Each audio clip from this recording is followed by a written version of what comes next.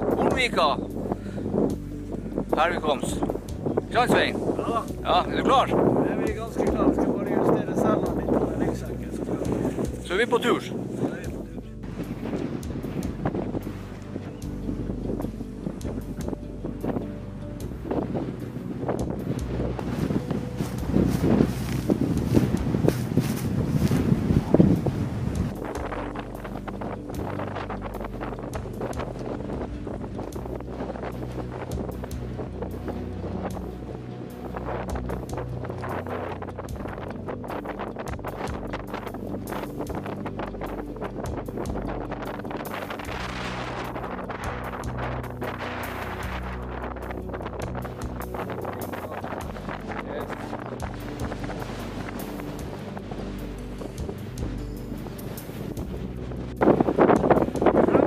Jeg er ikke fremme riktig ennå. Snart.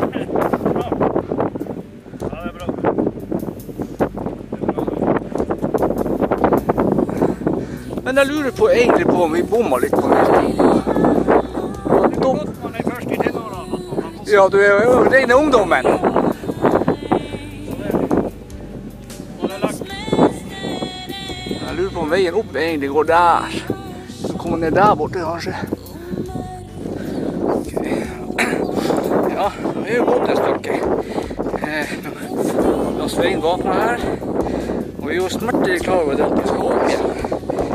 Og eh, ja, det går greit ned, men eh, vi er jo spent på hvor det går opp. Og det blir ja, selvfølgelig blir litt klatring.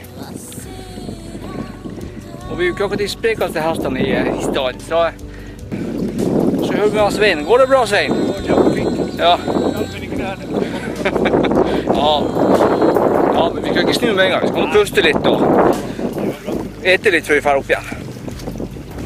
Så eh,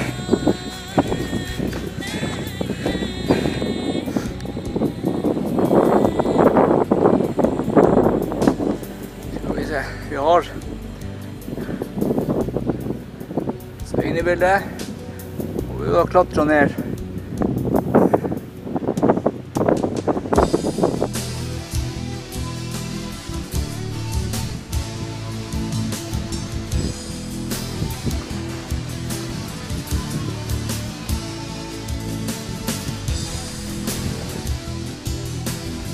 Ja, hva du syns om den turen egentlig? Det var- det en fin tur, egentlig. Selv om det tok litt på fotene i og med at jeg måtte bremse hele veien nedover. Ja, jeg, skal, jeg skal spørre deg når vi kommer opp også. Ja, jeg risikerte at den pinadø for som han der han, eh, Atle Skårdal nede igjen. Ja, ja, ja. Men Det var fint. ja. Jeg gleder meg ikke tilbake til Nei, det gjorde nå egentlig ikke jeg heller. Men eh, jeg kan jo fortelle til folk at jeg har vært her. Ja. Bare det å fortelle at man har vært her, er jo Det er litt greit når du kjører på de turistene. Jeg har vært her, og det var en fin tur, men det var en slitsom tur. Ja,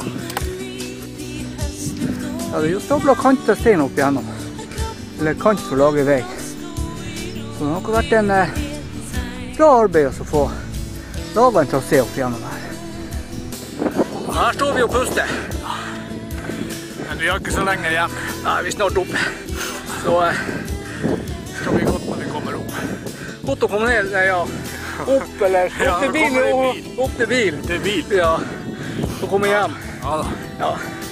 Det. Det har vært en fin tur. ja, det har det. Men vi har jo ikke stresset, vi har tatt god tid. Ja, men eh, det blir ikke flere ganger i år. Ikke hit i hvert fall. Nei da. Nei.